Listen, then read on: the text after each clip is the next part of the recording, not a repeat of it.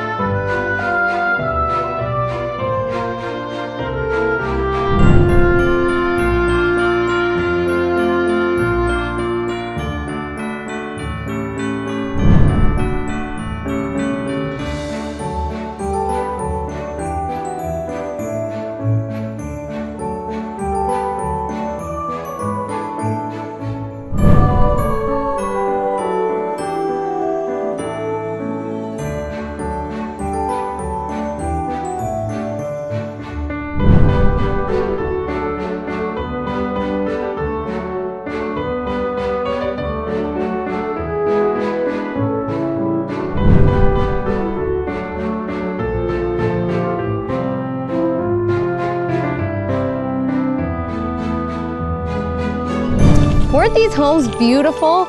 I'm so thankful for every one of my listings. If you're thinking of buying, selling, or investing in 2023, give me a call to have your home featured.